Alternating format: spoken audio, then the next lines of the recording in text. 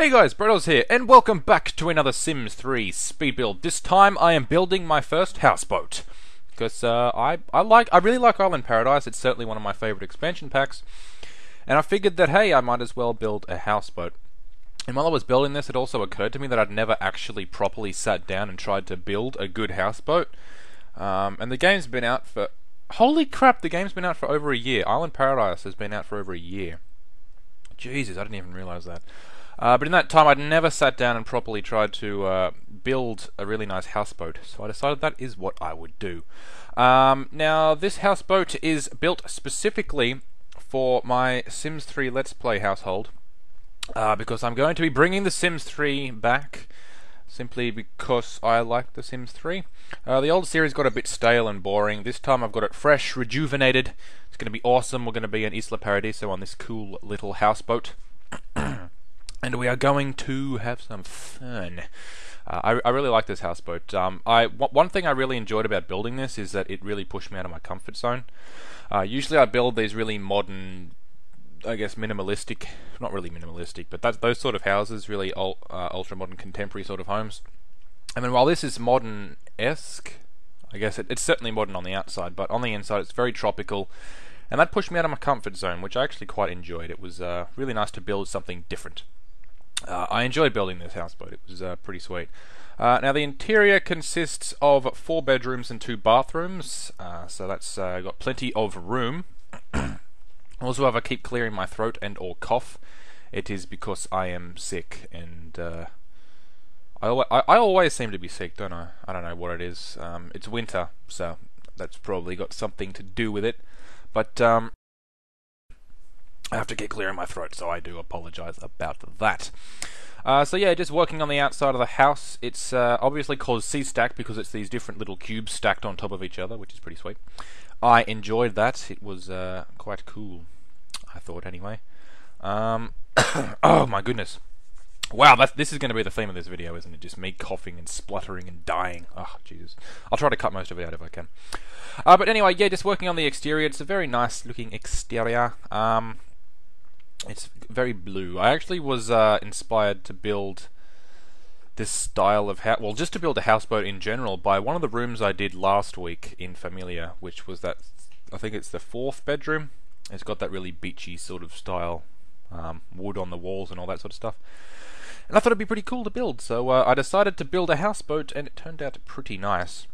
Now the styling and the furnishing and everything on the inside is very, very different to what I usually do. Usually it's, um, like I said, very minimalistic, but this one's got, it's very busy, I guess. It's uh, very, not so much cluttered, but there's lots of stuff. It's very homely. It feels like somebody lives there and has decorated themselves. There's lots of painting on the walls, or paintings on the walls, and plants and different objects and ornaments and stuff around the place. It just looks really nice. Um, it's a very uh, homely, cozy little houseboat, and uh, it's also a very narrow houseboat. So I use the narrow barge um, to build this on. So I think it's only six wide, uh, but then it's like 20 long. So uh, there's plenty of space. It does go all the way from the back, or not quite all the way from the back. I think there's like a space of two or three at the front, and then it goes all the way to the front. So uh, yeah, there's certainly no shortage of space with this build. It's uh, not going to be cramped, and uh, I don't know.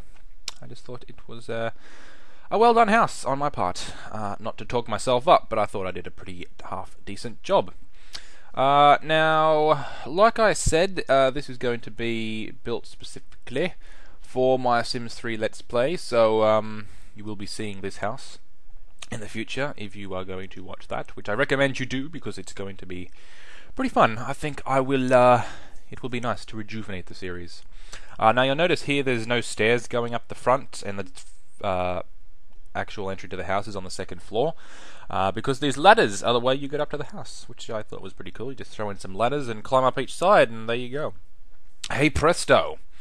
It's all done. You can get up there to the second level. There's also some awesome views from this house. Um, obviously, you'll get awesome views from everywhere because you can move because it's a houseboat. And uh, yeah, uh, that, that's what I do like about Island Paradise, just the fact that you can move your entire house with the houseboat. That's uh, pretty sweet. We've also got the helm down the front here, which is where the uh, houseboat is steered from. Also a nice little shade that will go over that as well, so uh, you don't get sunburnt, uh, but you still get nice views from here. There's also a little outdoor sitting area, which looks uh, quite nice. There are two bedrooms on the lower floor. The second floor consists of the living area. There's a bedroom and a bathroom on the very top floor, and then there's also a basement level, which is like um, in the actual hull of the ship, uh, which consists of another bedroom and the main bathroom. So, uh, yeah, like I said, there's no shortage of space. There's plenty of rooms. Um, it will definitely hold enough people uh, which is good. There's also um, on that second level, it's nice big open plan living. Also some outdoor dining areas around the place, as I said, and lots of windows to let in the natural light, which is what you want when you have a house like this. Uh, so you're just uh, playing around with the outside colours now, just sort of looking at it and thinking, hmm, what can I change? What windows can I put in? Uh, because I don't know, I just didn't feel like it was right. Um, I mean, I could probably go through and um, completely redo the outside of this um, if I wanted to. But um, I, felt it was pretty pretty good the way it was. Um, I wasn't unhappy with it, so um, I left it as it was, and I think it looks pretty nice. There's a little shade there, so uh, your Sims don't get sunburnt when they're at the helm of this fine vessel. Arr, as a pirate, and uh, yeah, I wish there was some sort of pirate thing in um, Island Paradise. That'd be pretty cool. Uh, I believe there's like the Castaway pack or something uh, but that's not really pirate. That's just Castaway. That's like uh, what's his face? That really annoying dude whose name I can't remember. Tom Hanks. That's the one. How could I not remember Tom Hanks? I don't know. Uh, I, I can't stand him. I can't stand Tom Hanks. Urgh, it drives me insane. I just want to punch him in the face. Uh, anyway, violence aside, uh, this is uh, the front of. Well, it's not really. I don't consider it the front of the house. I consider this the back of the house, but it is where you come in, so technically it would be the front.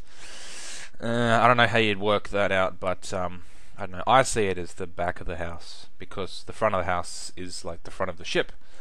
So uh, because it is a ship, it's a houseboat. It's on the water. That's where the helm is. That's the way that it steers. So uh, yeah, that's the way it goes. Uh, these little things are little wall fountain light things that I wanted to put on there, but I just couldn't get them to work, so I decided to take them off. Um, I, I would have liked to have them there, but the fact that I have the sort of split level wall at the top uh, stopped it from looking whole. It was just like a gap at the top, and I didn't really like that, so I decided to leave it out. We've got these really nice spiral staircases that lead between the lower, the lowest floor, and then the first and the second floor, and then there's a normal staircase going up through the split level from the second to the third floor. So, um, I do like these spiral staircases; they end up looking quite nice. Um, and you'll also notice throughout the house there's lots of wood, lots of plants as well. It's, like I said, a very, very tropical looking house, which I do like. It pushes me out of my comfort zone um, and makes me do things a bit differently, which I like. Uh, it's pretty good. I don't mind doing that every now and again. Uh, I do like to stay within my comfort zone, as everybody does. That's why it's called the comfort zone, but it's nice to push yourself out of it every once in a while and try something new. You know, if you're not trying things new or trying new things, then you're not living. The day you stop living is the day that life ends. You know what I'm saying? No? Okay, never mind. That that somewhat made sense, but I didn't explain it very well. So let's just uh, let's just put that in the back pocket and ignore that stupid sentence. Anyway, yeah, these are the stairs that lead up to the third and final level. The top level, there's also a balcony that comes off this and the second level, so your Sims can go out there and take in the fresh ocean air and the immaculate views that are around. Yes, I know how to use fancy words. It's what I do. Uh, so this area here is the open plan living area. Uh, so you get your kitchen over this side, the right hand side, and then you've got a nice little, uh, I guess it's an island bench, which can was bleh, which is your dining area. Then there's also a nice little dining area outside, so your Sims can go out there and sit and eat. And then you've got your little uh, living area over in the corner across from the stairs. So it's uh, it's a relatively nicely planned out little place. Uh, I've got that really rustic looking wood on the counters, uh, coupled with a really glossy white bench top, and I think that looks pretty sweet. I like the contrast. I like how it looks. Uh, these are cool little stools as well. I like them. Uh, so I threw those ones in there. And they look pretty nice. I didn't forget a stove this time. I know I've forgotten a stove. Some people have said, hey, you're forgetting toilets and you're forgetting stoves. And I know I am. I've, I've tried to remember everything this time. Just if I do remember, if I do forget things, that is, point them out to me, and I'll try not to remember. Uh, Jesus, and I'll try not to forget them next time. uh, but then I'll just forget something else instead. So it's just a, it's just a whirlpool, really. You can what a whirl? That's a terrible analogy, isn't it? Jesus, move on, Braden, move on. so yeah, uh, like I said, there's lots of little ornaments and stuff. I like that little marlin. He makes an appearance quite a few times throughout the build, actually, on multiple walls in multiple rooms throughout the houseboat, which I do like. Here's a little outdoor area now, so your Sims can sit out there and eat and enjoy the fresh ocean air and hopefully not get eaten by a kraken. I was actually surprised that they included a kraken in this game. I'm like, oh my god, it's a kraken! Kind of scared the crap out of me when I first saw that. That was pretty cray. It was pretty cray. Uh, but anyway, let's stop talking about the kraken. Uh, let's talk about a house boat that floats. Oh, that rhyming. Shakespeare, eat your heart out. Anyway, yeah, yeah, so here is the living room. It's uh, obviously same style as the rest of the house, uh, which is what you want. You don't want a whole bunch of different ugly, you know, mismatched things clashing with each other. It's just horrible. Eh, don't want that. no way, no way, no way. Uh, but anyway, yes, so let's talk about other things as well as the house. Uh, Sims 4 is two months away. What's the release date for The Sims 4? I wonder. I haven't checked. I know it's September. I don't know what the release date is. Uh, I actually haven't been playing, paying all that much attention, um, which is probably bad because I mean I'm, I'm excited for it, but I'm also quite skeptical for it, so, or skeptical towards it. Um, I don't really know what to think. Um, September 2. Oh wow, Jesus, it's less than two months away. Oh my goodness. Jesus, alright, I better get that Sims 3 series up and running before Sims 4 comes, because when Sims 4 comes, for the first couple of weeks, that's basically all that's going to be on the channel. So uh, expect a build when that comes out, and some Let's Plays and other videos and all that sort of stuff. It's going to be awesome. Uh, I don't really know what building's are going to be like in The Sims 4. I don't know if they're going to include CFE. If they don't, I'm going to be very, very unhappy. I know you can adjust the height of the walls, but it's not really the same. Oh dear, I don't know. I don't know what to think about The Sims 4. I'm so skeptical right now. I don't know what to think about it. Uh, let me know what you guys think about The Sims 4. Are you excited or skeptical? Or both, like me? Because I'm... Yeah, I don't know. I'm looking forward to it. I think it's going to be a good game. I just don't know if it's going to be as good as The Sims 3. Because The Sims 3 is amazing. Obviously, that's why it's uh, got such a big community and a big following crap games don't get that. So, uh, you know, well, Call of Duty does, but you know, let, let, us just let's just forget about that. Uh, yeah, I don't I don't know about Sims 4. It's so I mean, one thing that I've been looking at is that up close the visuals really don't look that impressive. Um, I know they're going for a stylized look, but I mean the game's made four years after The Sims 3, and I'm thinking the graphics are worse than The Sims 3. So, mm, I mean, visuals aren't exactly a big thing when it comes to The Sims 3. It's more the gameplay, not how it looks. But to me, it is somewhat important what the game looks like. I mean, any game, because I, I want it to feel real, not just look like a bunch of cartoon still motion drawings just sort of moving about. That's not what I want in a game. I want it to look realistic and I want it to feel realistic. And uh, visuals help with that a lot. So we'll see. Um, I know I've only seen screenshots and everything. I don't know what the game will be like. Uh, one thing I do hope though is that it's better optimized for powerful video cards and systems. Because Sims 3 runs like crap on just literally everything. It's horrible. It just runs like turd. So I hope they fix that up. I sincerely hope that they fix that up. Uh, because if they don't, I'm not going to be very happy. Because my system is very powerful and it can't really run Sims 3 all that well. I mean, I get 60 FPS, which is fine. That's what my monitor is locked at. I'm running a 60 hertz monitor. But I can get higher than that in Battlefield 4, so. Mm, what's the dealio with that? I know I've talked about this before time and time again, but. Meh, I don't know. I don't even know what to think about it. I just hope. I'm just hoping. Uh, the ball's in the developer's court now. Um, whatever they've made, that's what we're getting, whether we like it or not. So let's just uh, let's just pray that it is good. Uh, anyway, while we're uh, still stuck with The Sims 3, let's uh, talk about this Sims 3 house. So, uh, you saw that bedroom over there. That is a guy's bedroom, obviously, with the blue. This one has a more of a pinky tinge to it, or a pinky feel. Uh, it's quite a nice bedroom. Uh, I like all the bedrooms in this house actually. Um, I do have all the Sims done for my Let's Play, so I was kind of building these bedrooms for them. I guess so, yeah. I mean, obviously, each different sim has different tastes and likes and everything, so I had to build the house that would suit each of them. And that's what I did. So if uh, things look strange, it's specifically to build or to suit different uh, sim styles. So that's what I was going for. Uh, there's a little chest of drawers there, so your sims can put in their clothes or put their clothes in. Wow! God, I need to think about what I'm saying before I say it. Christ. Anyway, yeah, there's a little lamp there, which is quite nice. Uh, you'll notice with the house what I was talking about. It's not very minimalistic. It's uh, kind of not cramped, but um, I don't know. There's a lot going on. It's quite busy, which I do like. I enjoy it. I think it's quite nice. It's a good change, rather than having you know just oh there's check out the decoration in this room. It's just a chair in the center, center of the room. So uh, I didn't want to do that. I wanted to make it more homely, like somebody had decorated the, decorated it themselves. So that's what I did. Uh, there's a cool mirror on the wall there, uh, a mirror, as some people would say, depending on your accent. I say mirror because that's my accent.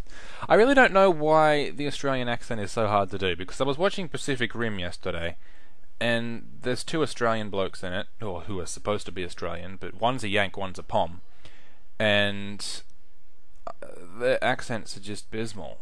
Like, come on, you can you can do better than that. Jesus, it's like, ugh, come on, it's it makes me laugh. Their accents are bloody laughable. And I don't know why it's so difficult to do because it's a very plain sort of accent. I mean, it's it's not difficult to do. It's really not. I mean, I guess it's just the fact that everybody seems to think that Australians talk like this, mate. You know, crocodile Dundee, uh, throwing out the shrimp on the barbie. None of us talk like that. I can guarantee you that. Like, we don't even call it shrimp. So, I don't, I don't, I don't even know where that term came from because we don't call them shrimp. We call them bloody prawns. So get that right.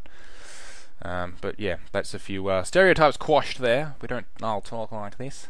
As you can probably tell, there's a few Australians in the Sims community, and I assume most of you know what we sound like by now. So, uh, yeah, there we go. There's, uh, like I said, some stereotypes crushed there. You know what we talk like now. Anyway, let's get back to the house with some CFE, making the house look like a monster house. Jesus Christ, look at that. It's crazy. I hate it when it does that, because if you're using CFE, and you place floors on a floor, if you place floors on a floor that has a level above it, yeah, that's how I would say it, then the level above it will just go haywire and look like it did just then. So uh, that is kind of a problem that uh, it's relatively easy to fix. You just get the terrain leveling tool and bang, straight over it. It's uh, fixed, so it's not a big deal. I mean, the little sort of things that happen when you use CFE, at first they can be quite daunting because everything's just sort of, oh my god, it's turned into a monster house. But then if you know what you're doing, it's just bang bang done. It's fixed. Uh, but it is quite daunting when you start learning. Like it took me a while to learn CFE actually. Um, I don't know when I started learning CFE because I did use uh, or I didn't use it for quite a while, and um, yeah, I, my houses or everybody's houses are just better when you use CFE because CFE is just so useful. I love CFE. I mean, I, I can't build a house without it these days. I mean, I, I use it in almost every house. I think I've used it in every house that I've built. I was trying to think back. Now, the first one I didn't use CFE. Um, I don't know. Most people use CFE in their houses. I mean, it's a very useful tool. It uh, is very good for modern houses, especially. So, like I said, I hope they include it in The Sims 4 or something like it. Um, but we'll see, won't we? We will definitely see. So uh, we are down on the lowest level of the house now. This is actually the basement. I, would it be called a basement? It's sort of like inside the hull of the ship, so it's not really a basement. It's not underground, it's above ground. Well, it's underwater, I guess. I do wish you could put uh, windows on this and see actually outside into the water. I think that would be freaking awesome. I wish they'd have done that. That would have been so cool. Uh, the shortfalls. They fell short just on a couple of little things, but I mean, it's not really that big of a deal, so we can let that slide. Uh, now this bathroom, it's kind of the main bathroom of the house. It sort of serves the lower levels and the uh, I probably wouldn't serve the living area, but uh, for the two bedrooms on the first level and then the uh, third bedroom on the basement or in the basement, it would definitely serve as their main bathroom, whereas the bathroom or the bedroom up the top on the very top floor, the third floor, uh, would probably use their bedroom that is right next door. I would assume so. Although with Sims and their decisions that they seem to make, you never know. The Sims could just decide that they're going to go all the way downstairs from the top level when there's a bathroom three feet away from them.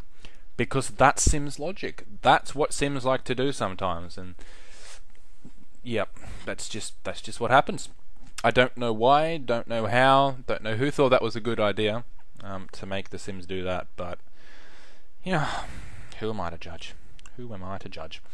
Um, so just throwing in a couple of little things there. Uh, so your Sims can be nice. Can be nice. So the room can be nice when your Sims are there.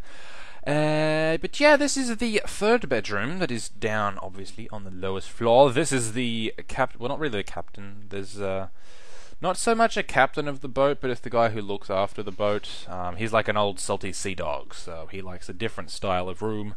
You know, the old brown rustic woods and that sort of stuff. Uh, he probably wouldn't have a computer, but I decided to throw one in there anyway because that's what I do. And, uh, you know, just sort of throwing some decorations around. You know, why not? Um, there's some drawings on the wall there of some stuff. Some pictures, um, some old school pictures by the looks of it, from a sports team. Um, and then some cool little uh, aeroplane pictures on the wall. I like those pictures. They are cool. I very much like them. That lamp's pretty sweet as well. I've been discovering a whole bunch of other content that I've never really used that much before lately, and um, I'm enjoying using it. Using some things that are a bit different, which is good. It's always nice to mix things up a bit. Uh, over in the corner is that really cool little bench. It's kind of a creepy looking bench. It looks like something you'd lay on, you know, BDSM style or something. I'm sorry. Um, but yeah, that's that's kind of what it looks like, you know, bondage, whatever. Um, let's. Yeah, I'm sorry. I'm just gonna stop talking now. Uh, there's a little chest of drawers over there, so uh, the dude who lives here can get changed, or lives in that room can get changed, and uh, doesn't have to walk around in the nutty, which is preferable for everybody, I think. So we don't have to endure him walking around with no clothes on, and nobody has to get scarred let's move on. Uh, so yeah, we are on the final level of the house now.